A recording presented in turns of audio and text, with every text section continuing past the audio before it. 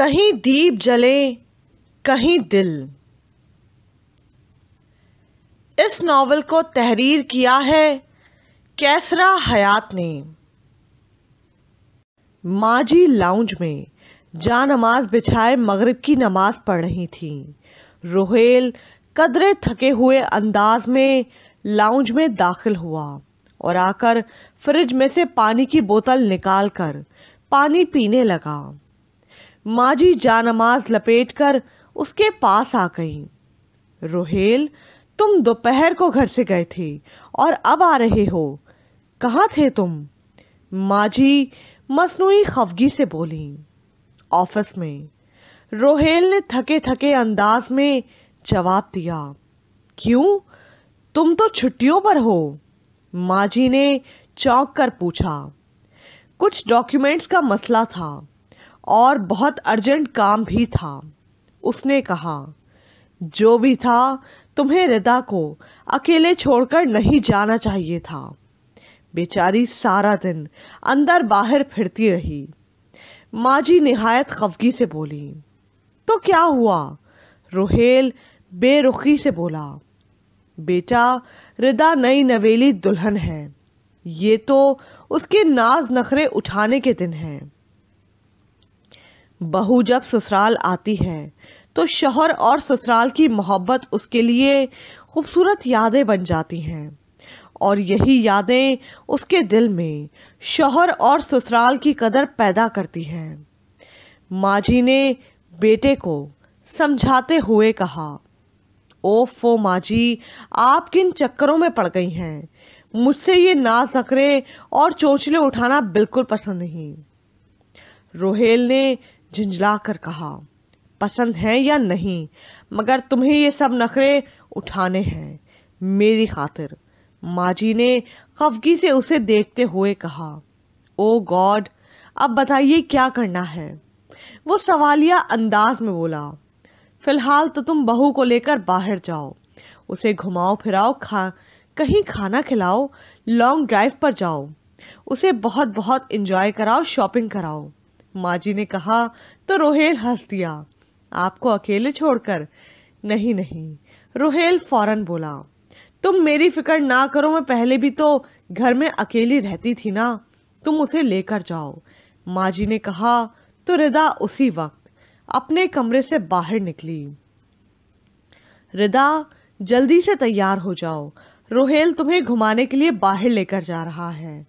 माजी ने उसकी तरफ़ देखते हुए कहा तो उसने चौंक कर रोहेल की तरफ़ देखा। ओके, जल्दी से तैयार हो जाओ। रोहेल ने हाथ हिलाते हुए कहा तो रिदा मुस्कुराकर अंदर चली गई। बेटा, ऐसी बातों से मोहब्बत बढ़ती और मज़बूत होती है।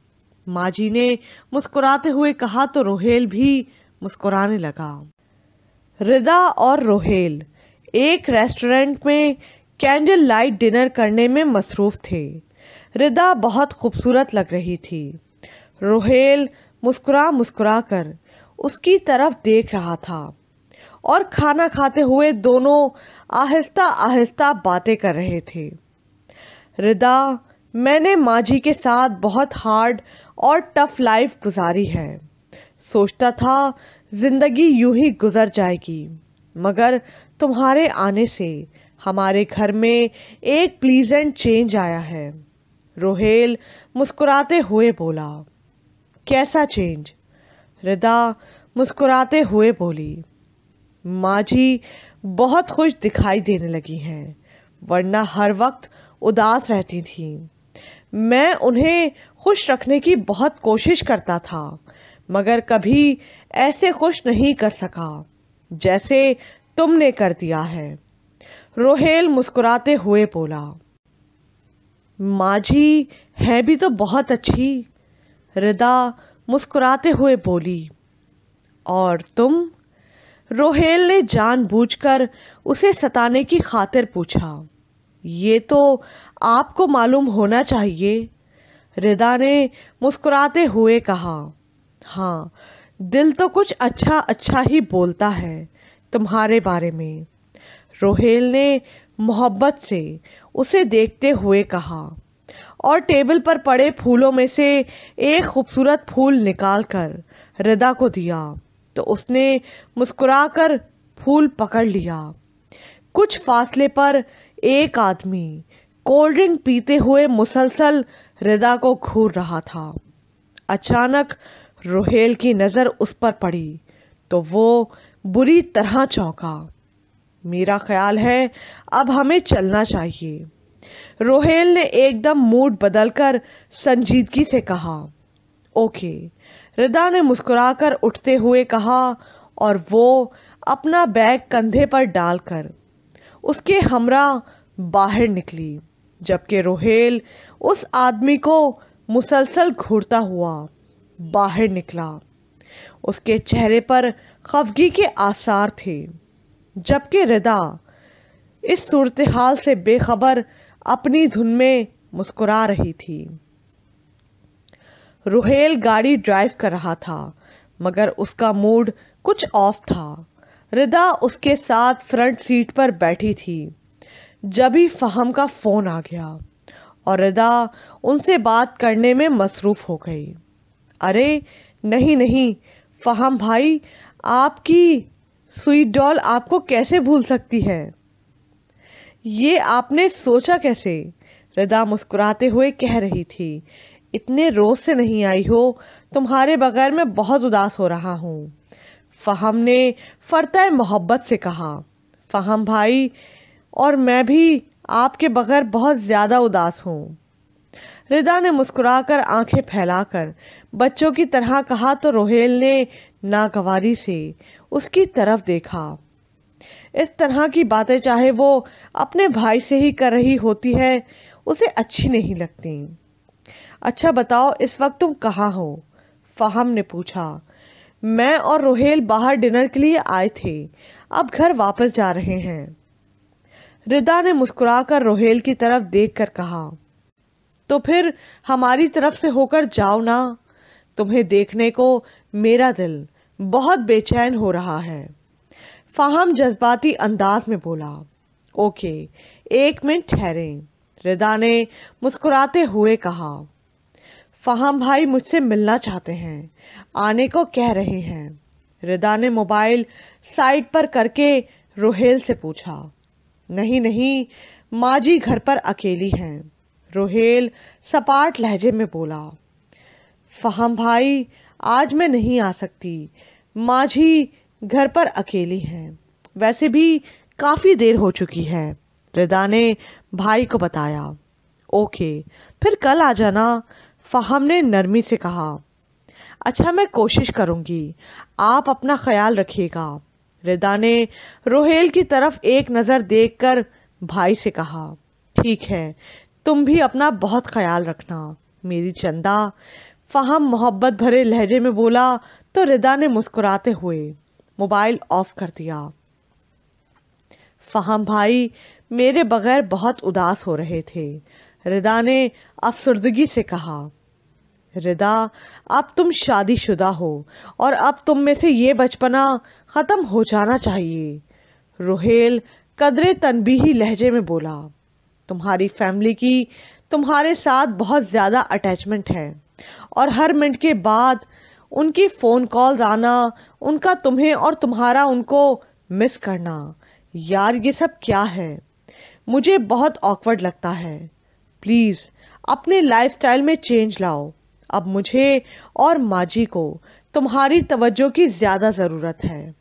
रोहेल ने कंधे उचकाकर खफगी से कहा तो रिदा खामोश हो गई।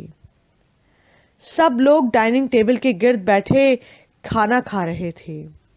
जाहिदा पानी के गिलास और स्वीट डिश लाकर रख रही थी। फ़हम भाई मोबाइल ऑफ़ करके खाना खाने लगे। रिदा से बात कर रहा था। वो दोनों डिनर करने बाहर गए थे।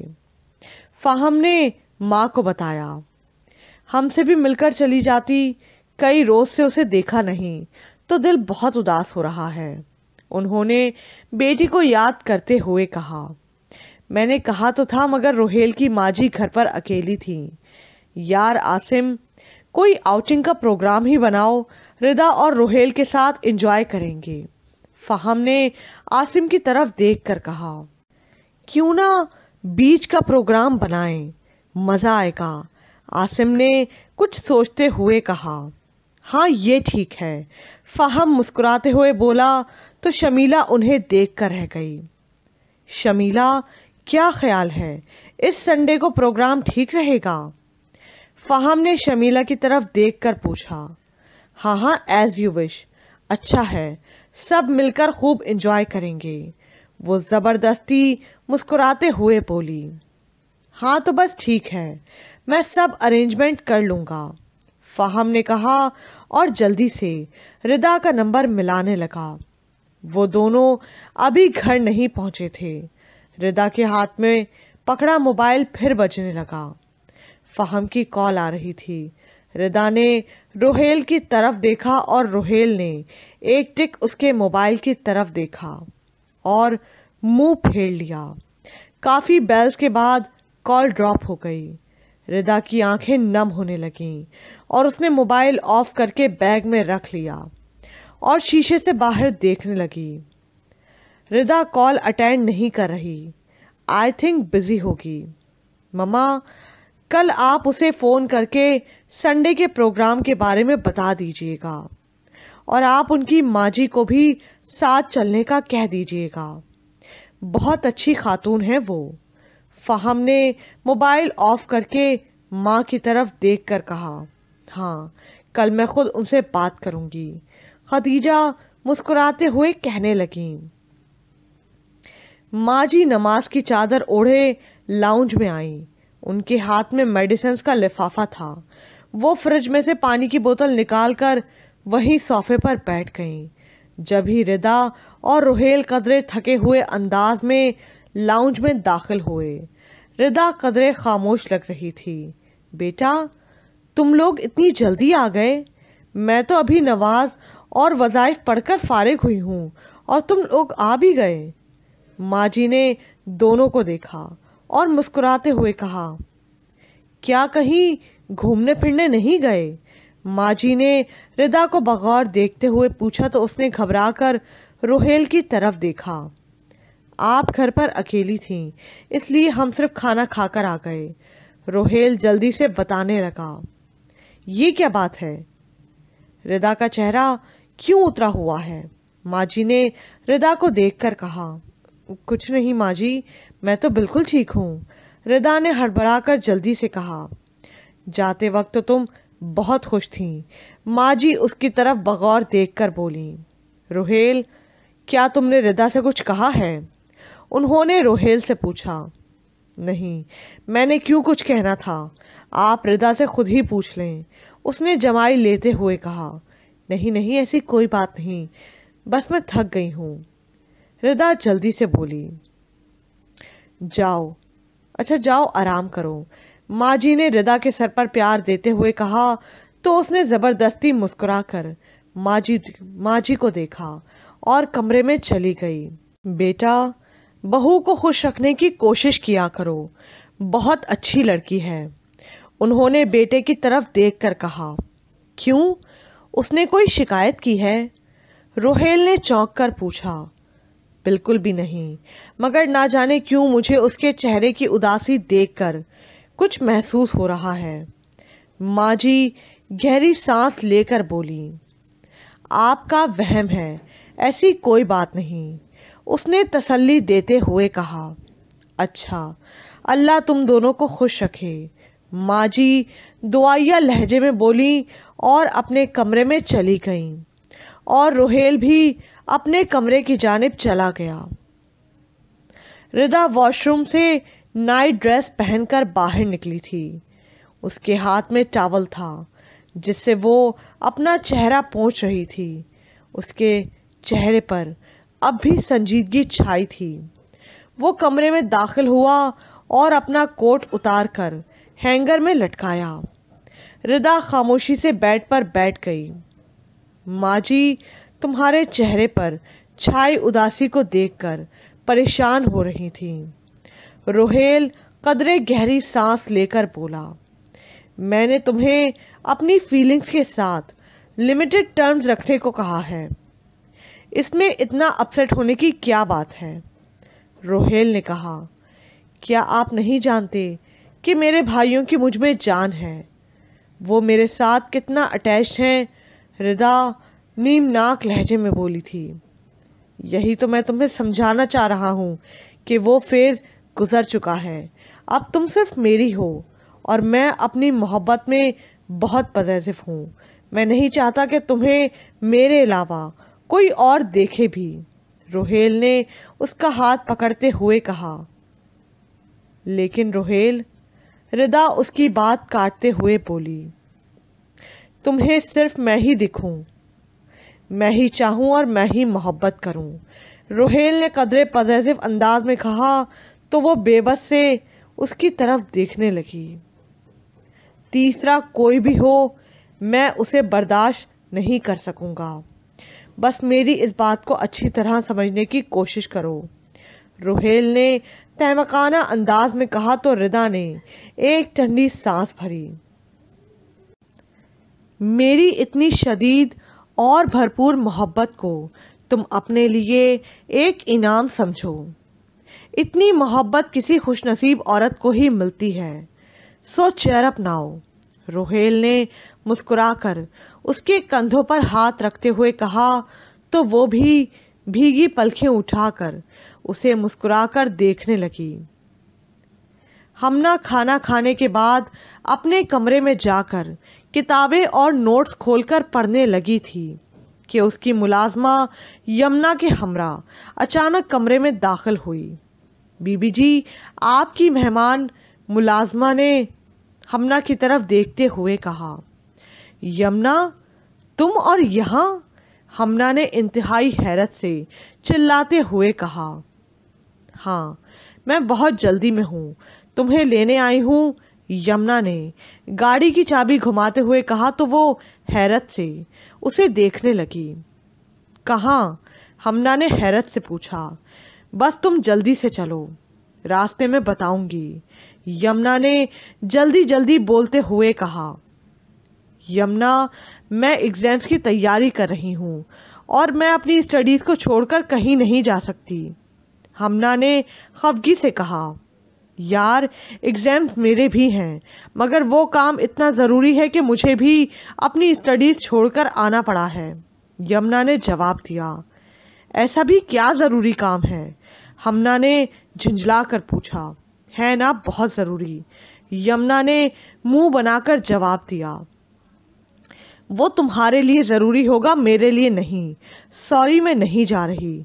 हमना ने अपनी किताब पकड़ते हुए कहा, वो तुम्हारे लिए भी अहम है। अगर ना होता तो मैं तुम्हें कभी लेने नहीं आती।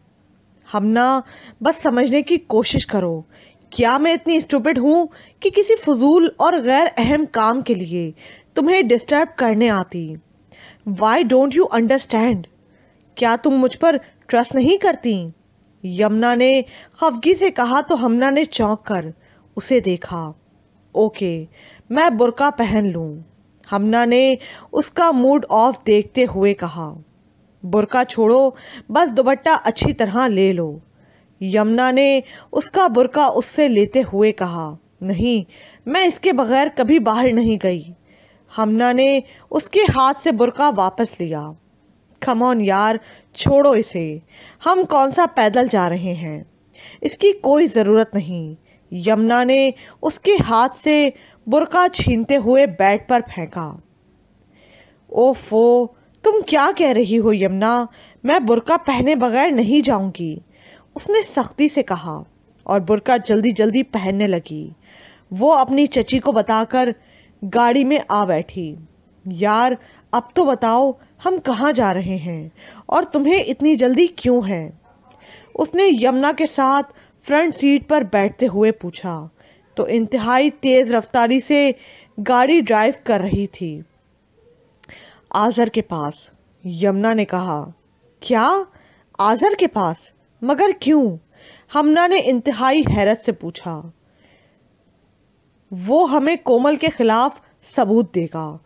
उसने मुझे बुलाया था, मगर तुम्हें इसलिए लेकर जा रही हूँ कि तुम्हें मेरी बातों पर यकीन नहीं आएगा। अब तुम खुद अपनी आँखों से देख लेना कि कौन सच्चा है और कौन झूठा, यमुना ने कदरे जज्बाती अंदाज में कहा। कमौन यार, तुम किन चक्करों में पड़ी हो? हमारे एग्ज़ाम्स होने वाले हैं। हमारा टाइम कितना कीमती है और तुम आदर से क्लैरिफिकेशन लेने जा रही हो।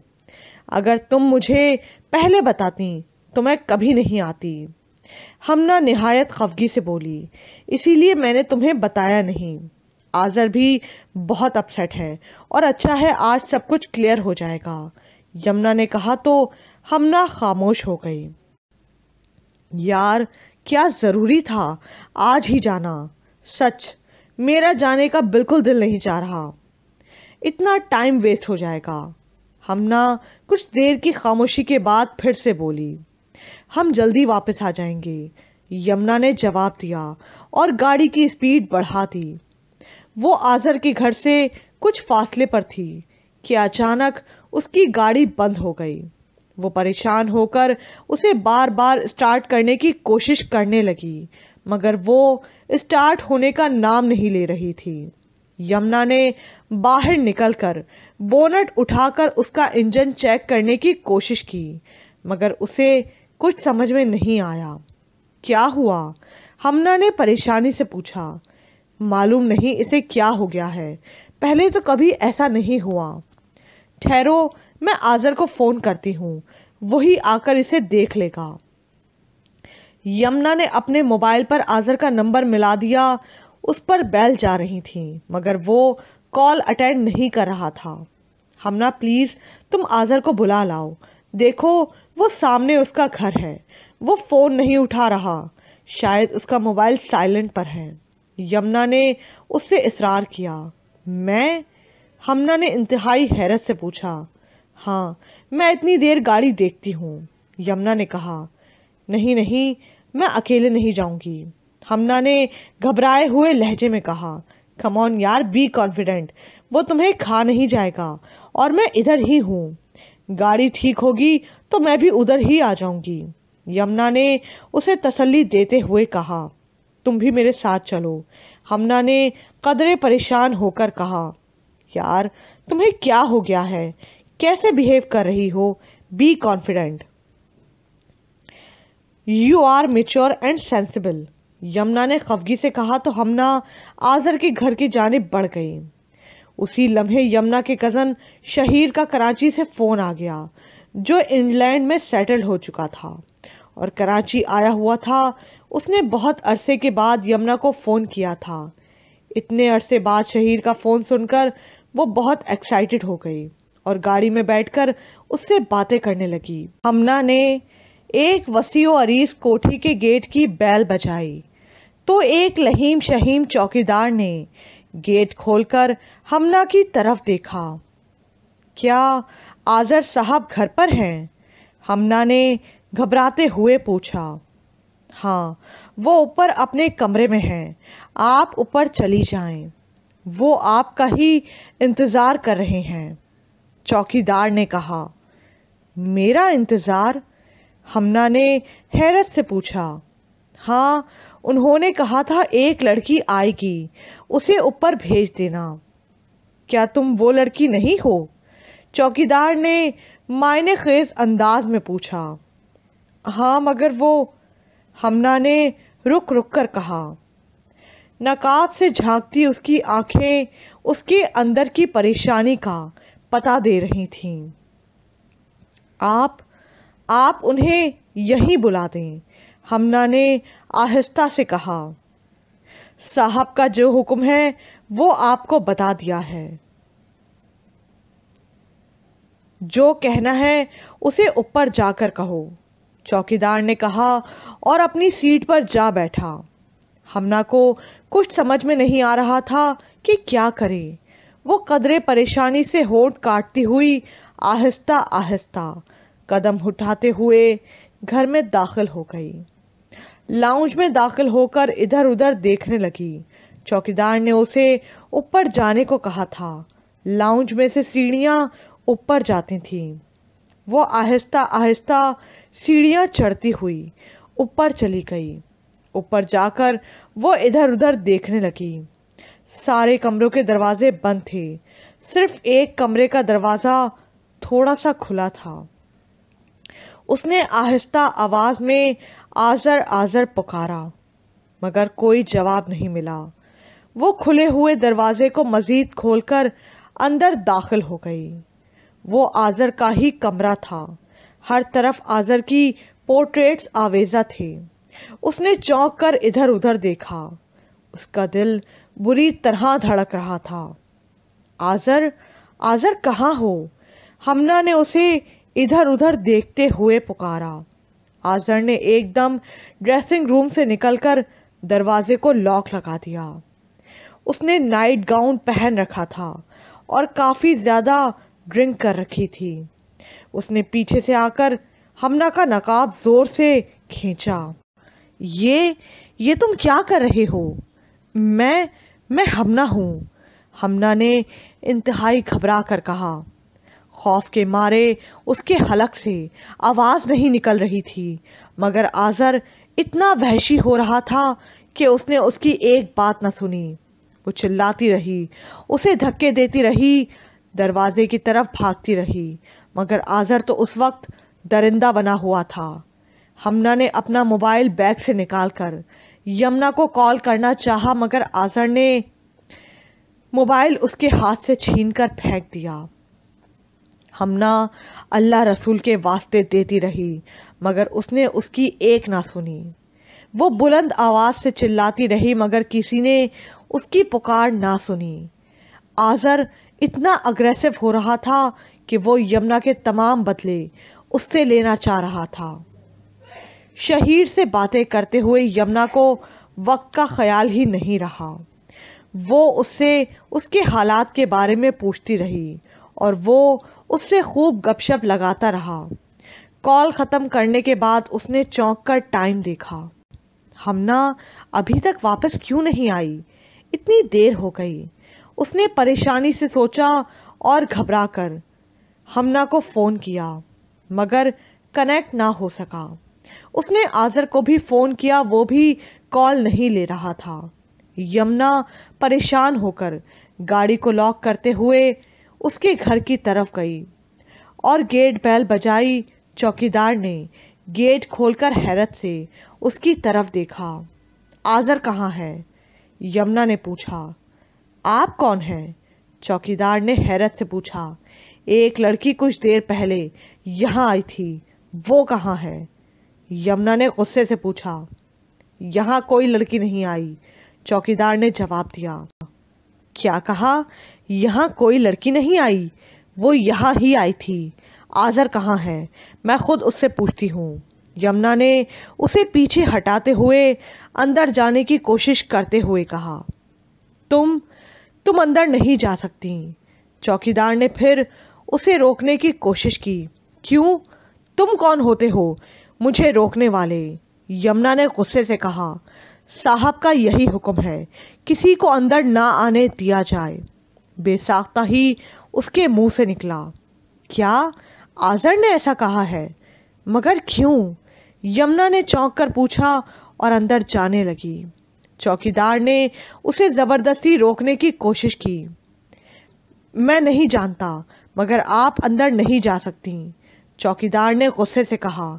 तो यमुना ने कराटे करते हुए टांग उसकी पीठ में मार दी। वो वहीं तड़पने लगा और यमुना तेज़ी से ऊपर चली गई। आजर के कमरे का दरवाज़ा बंद था।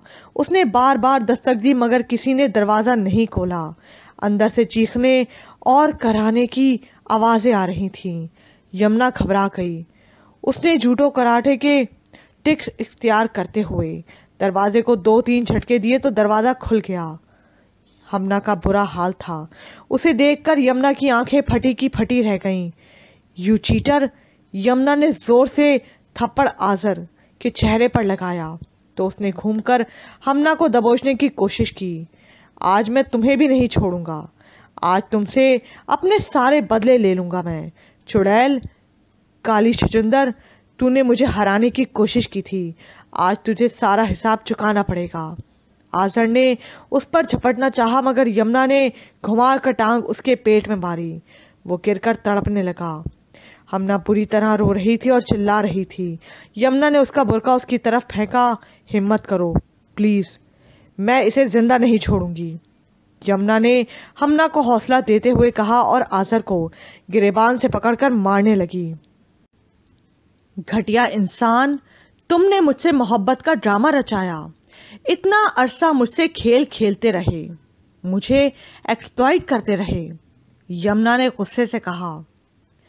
तुम और मोहब्बत के काबिल, अपनी शक्ल देखी है आईने में?